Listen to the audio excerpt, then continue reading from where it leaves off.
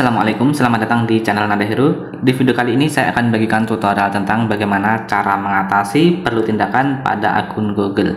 Nah, langsung saja kita menuju ke tutorialnya.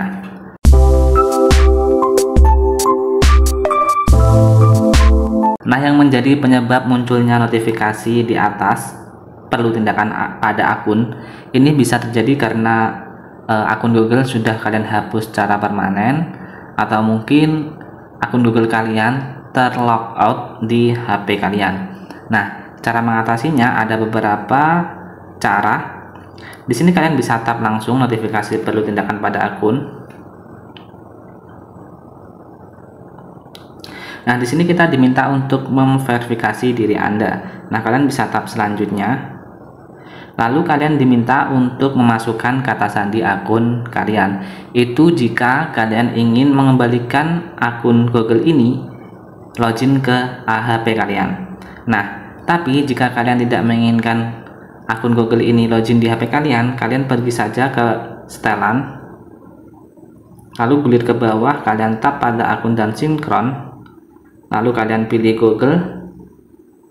Nah, di sini kalian hapus saja akun Google yang muncul perlu tindakan. Oke. Namun, jika kalian ingin login kembali ke HP ini, maka silahkan lanjutkan untuk login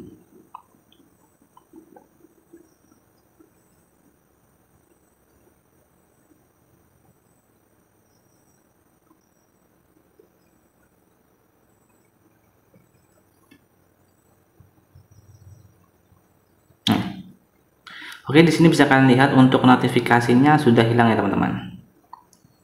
Oke, kemudian kalian bisa cek di setelan. Nah, di sini tuh sudah login. Kita lihat di bagian menu Google. Nah, di sini untuk uh, akun Google saya bisa dikelola seperti ini teman-teman akun Google yang tadi muncul perlu tindakan di sini sekarang sudah normal, sudah login di HP saya ini.